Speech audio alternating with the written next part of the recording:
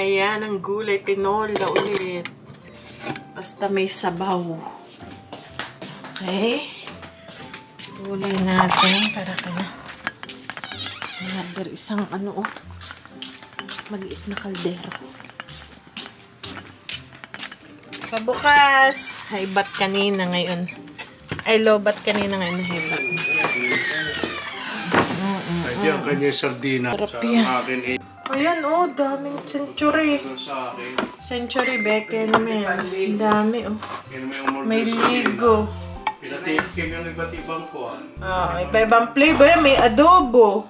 Oh. Ay, di ako ang kuhan. Ay, di, ang isa Ano, niya, kaya kong dalawang Aray, corn tuna. Aray naman eh, light tuna.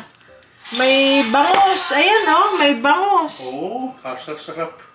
Tapos aray ay ah, adobo style.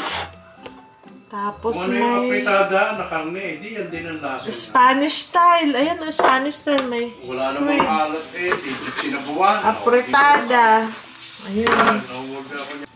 So yun guys, may kukunin lang ako sa tiny house yung aking collaboration na gagawin. So yan guys, ang ating halaman, mga tuyo na sila dahil tapos na ang season. Pero may mga harvest pa tayo dyan ng mga kamatis. Tapos na end of season na yung malunggay yun. Pag lumamig, papasok natin. Medyo mainit ngayon dahil parang uulan. Aba, may hindi na lumaki yung ating ampalay. oh. Pero hinahayaan ko lang sila dyan. Ayun, oh, may mga kamatis doon.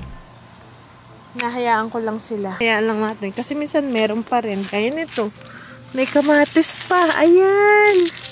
Ang ating kamatis. Okay, kamatis natin. Tapos, ito pa. Ang ating mga kamatis. Ang dami pa, oh. Dahil hindi natin, may, may hindi natin alam, may mga nakatago dyan. Okay, may maliit na mapulo. oh.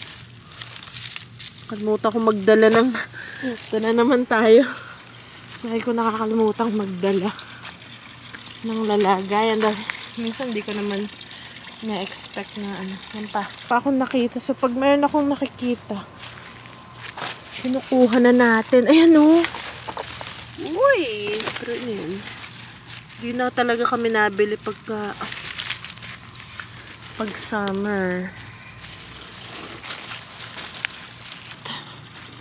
Liliit lang siya.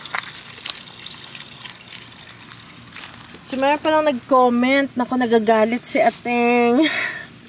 Ang gulo-gulo ng garden mo. Opo, magulo talaga. Hindi ko naman sasabihin na hindi. Wala, eh, ganyan talaga.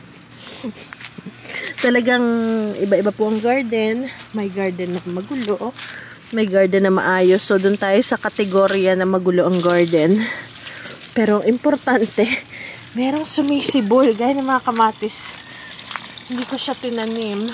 So, sumibol lang siya. Hindi na tayo nag-effort magtanim. Hindi na tayo nag-effort magtanim, guys. Ito po, oh. Eh, ayan. Ayan pa. Mhm. Ayan, okay. Wala na ako nakikita pa. So, ito na lang muna. Okay, marami pa dyan. Pero nag-harvest na si kuya eh. Ato, welcome sa ating magulong garden. Akala ko namatay na tong ternate. Pero sumibol siya ulit. So, kailangan lang talaga madiligan. Okay, so, actually, ang pinunta ko talaga, ang pinu... Uy, wala, nagbiglaga na. Ano ba yan?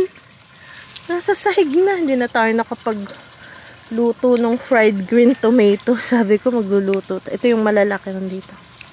Ako magluluto tayo eh. Wala na, wala nang time. Hey guys. Dito yung malalaki natin.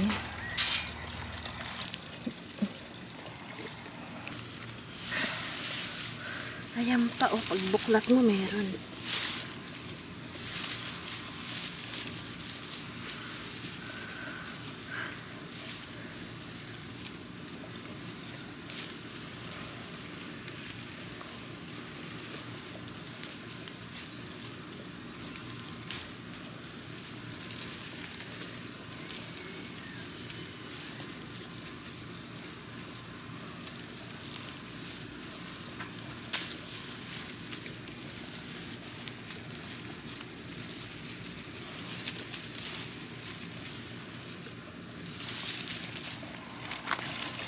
Hello.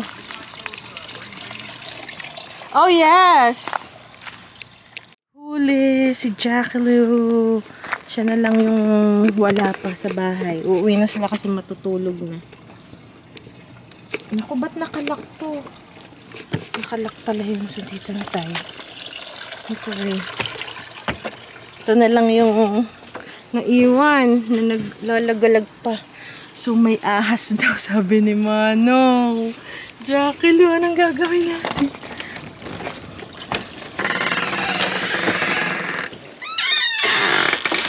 Ayan! Si Cheddar! Okay, head count. Jack is here. Cheddar is here. Huckleberry is here. And cheesecake is here. Ay, ito ang laki-laki. Cheesecake, oh. Okay, guys. May kukunin ako dito eh. May kukunin ako kaya ako nagpunta dito. Ito. Ah! Ito, kukunin ko tong bag na to, guys. Ang bigat. Nagulo talaga yung papas ni Dad. Dami namin, guys, collaboration. Mga collaboration. Ito lahat yung mga box na nakikita niyo. Lahat padala yan kumpanya. Ayan pa! Mukhang uulan eh. Okay guys. Ipitin ko na siya. Oh, ang bigat. Oh my goodness. Okay guys. Bawal na silang lumabas. Matutulog na kasi sila. Bawal na lumabas. Aray. Okay. So basically, sabi ni Manong, mag-iingat daw sa ahas. Kasi meron siyang ahas na nakita na malaki dun sa kanyang garden. Um, ano ba yan? Ano daw? Kinain yung kanyang mga isda. Kaya daw ang laki. So, tingnan natin baka Okay. Ayun. May figs na tayo. oh. May hinog na na figs. Maliit lang. Okay guys. So, ingat lang tayo sa ahas. Kausap ko si Manong. Yun yung sinasabi niya. Dito sa garden ko, masukal ang garden. Kaya tatabasan namin to. Tatabasan natin. Nihintay lang natin na matapos yung season talaga. Mukhang uulan. Yun yung harvest. So, meron daw na black snake. Black snake at saka yung isa pang klase ng ahas. Pero ano naman, hindi naman poisonous. Kaya lang, baka raw magulat din kasi malaki siya.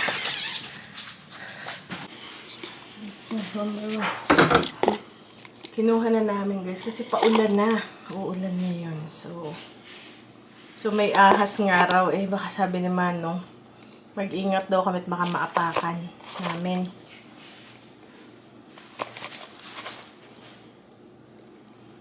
That's why Mr. Keith needs cats, you know? If he hmm. has cats, he won't have the snakes. Yeah, the cat will eat the snakes and give it to him as a gift.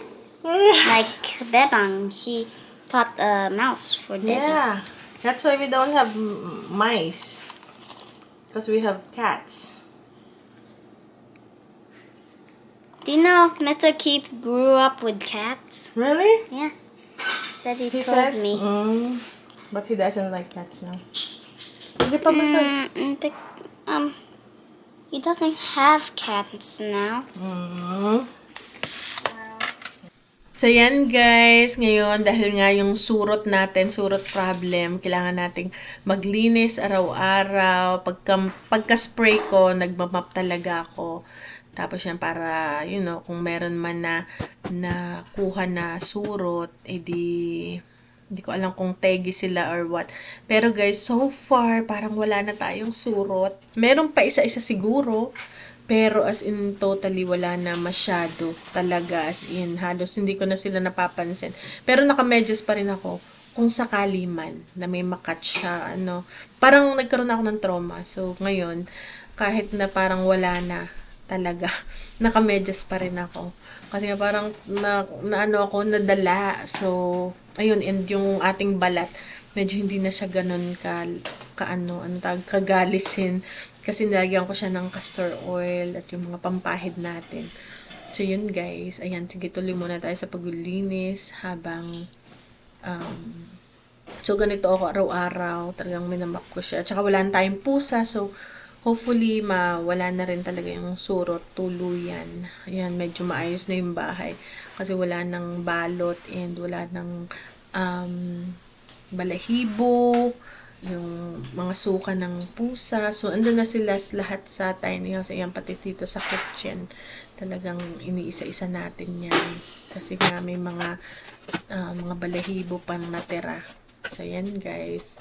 At uh, salamat sa inyong mga suggestion. Siguro lahat ng mga ginamit ko nakatulong siya.